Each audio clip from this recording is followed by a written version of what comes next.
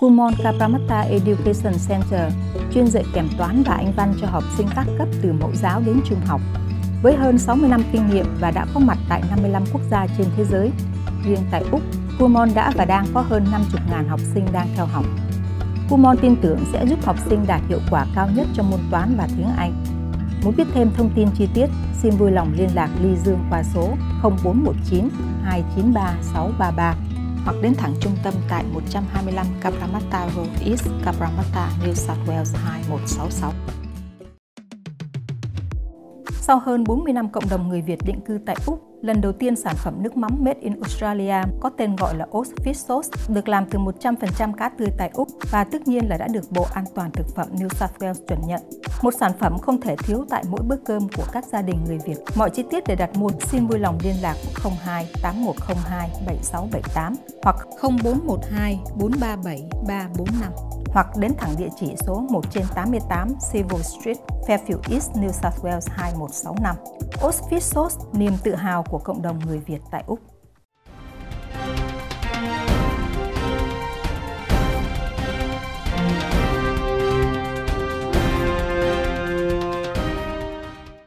Thanh Huyền xin trân trọng kính chào quý vị khán thính giả của Đài Việt Face TV Úc Châu. Kính thưa quý khán giả của Việt Face TV, thông tin chính được quan tâm nhiều nhất ngày hôm nay vẫn là sinh hoạt chính trị, đặc biệt là về thượng đỉnh về nhân dụng và năng khiếu vừa khai mạc tại Quốc hội Canberra sáng hôm nay. Trong khi đó, thì trong lĩnh vực an ninh quốc phòng, Bộ trưởng Richard Miles đã tuyên bố tại Vương quốc Anh là Hải quân Úc sẽ được huấn luyện trên những chiếc tàu ngầm chạy bằng nguyên tử của Anh Quốc thông qua Hiệp ước Tam cường AUKUS. Và sau đây là phần tin chi tiết trong bản tin vào lúc 3 giờ chiều hôm nay thứ năm, ngày 1 tháng 9 năm 2022, tức là ngày đầu tiên của mùa xuân tại Nam Bán Cầu.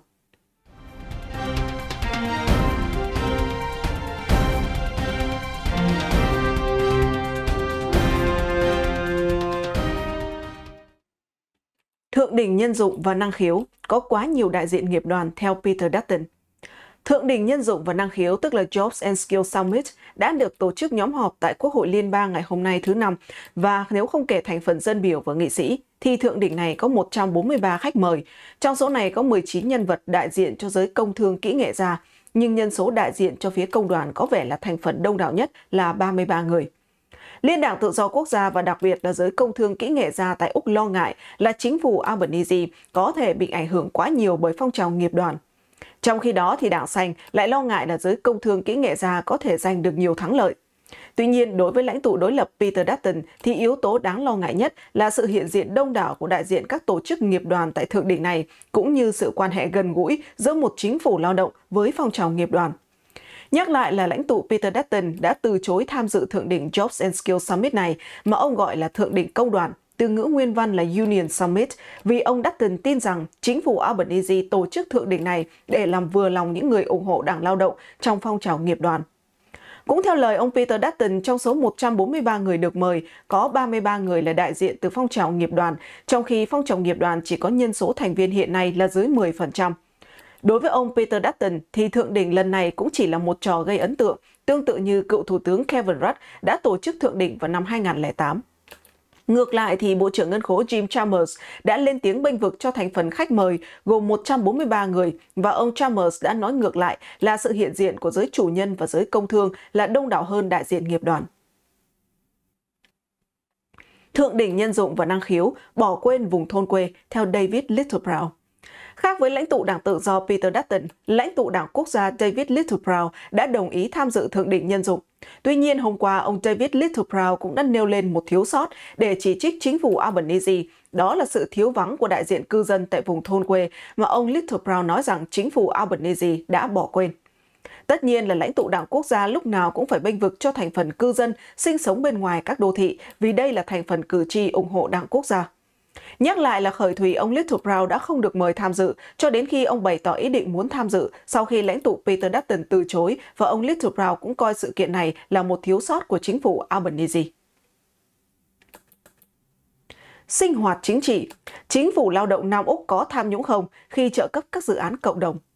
Trong nhiều năm qua, Đảng Lao động ở cấp liên bang cũng như ở cấp tiểu bang, khi họ ở thế đối lập, hầu hết đều đã tố cáo chính phủ liên đảng ở cấp liên bang cũng như chính phủ liên đảng tại New South Wales và Tasmania là đã sử dụng phương tiện tài chính vào mục đích chính trị, khi mà những khoản trợ cấp này thường dành cho các đơn vị mà liên đảng đang nắm giữ hoặc liên đảng muốn nắm giữ.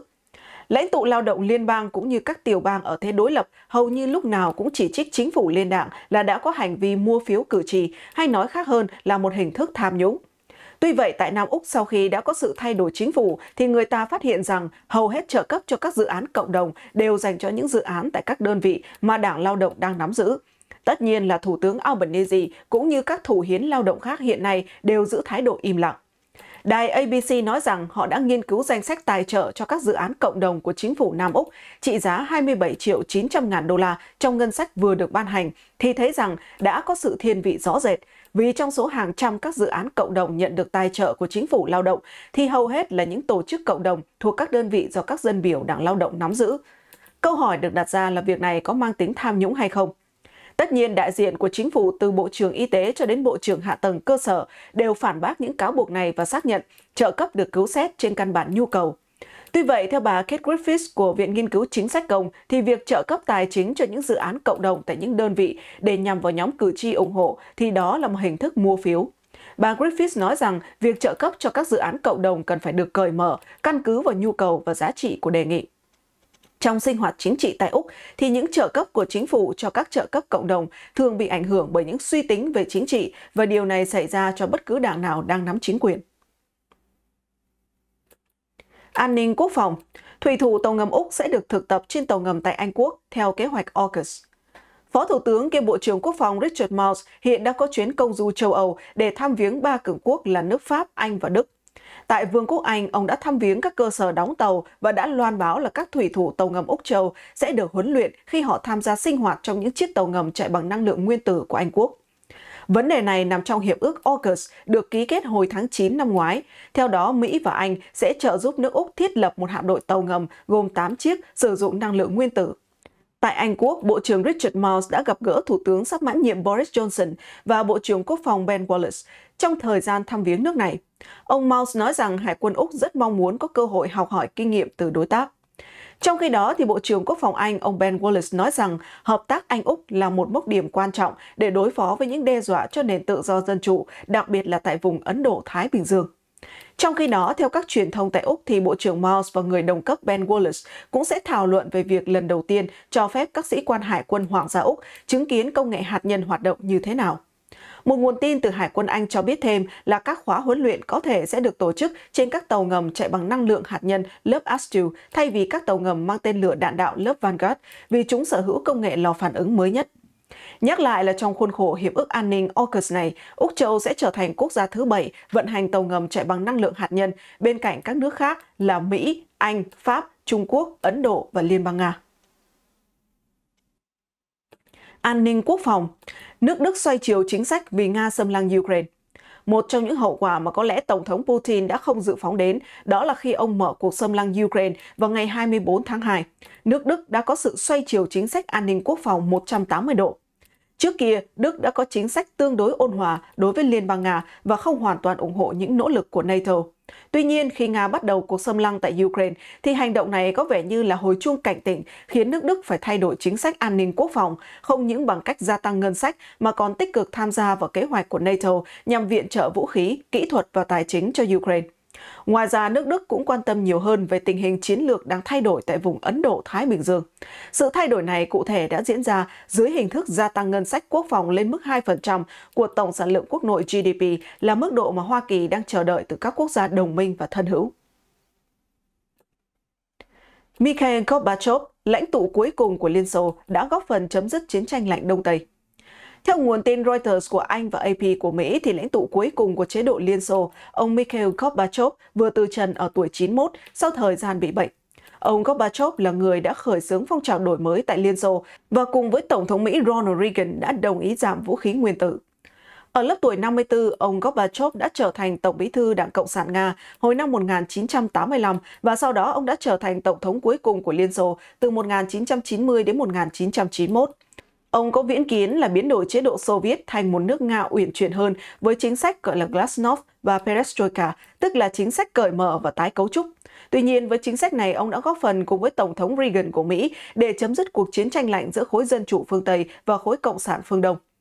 Tuy nhiên, ông lại không thể ngăn cản sự sụp đổ của chế độ cộng sản tại Liên Xô cũng như sự sụp đổ các chế độ cộng sản tại Đông Âu. Ông Gorbachev được coi là người có đóng góp lớn cho sự thay đổi trên thế giới và sự việc ông từ trần là cơ hội cho các lãnh tụ phương Tây, kể cả Thủ tướng Úc Anthony Albanese, ca ngợi sự đóng góp của ông. Thế nhưng trong sinh hoạt chính trị tại quốc nội thì ông lại bị mất hết tất cả sự ủng hộ. Khi ông Putin trở thành tổng thống và nắm chính quyền tại Liên bang Nga, thì liên hệ cá nhân của ông Gorbachev và cả ông Putin khởi đầu được coi là rất thân thiện. Tuy nhiên, dần dần khi ông Putin trở thành một nhà độc tài với nhiều tham vọng, thì quan hệ giữa hai người đã trở thành thù nghịch. Tuy nhiên, ông Putin vẫn nói rằng ông Gorbachev và di sản của ông đáng được ghi nhận. Bác sĩ Nhật mổ mắt miễn phí ở Việt Nam được trao giải Nobel châu Á. Quỹ giải thưởng Raman Magsaysay ngày hôm qua đã công bố 4 chủ nhân của giải năm nay, gồm 3 bác sĩ người Campuchia, Philippines, Nhật Bản và một nhà hoạt động môi trường tại Pháp.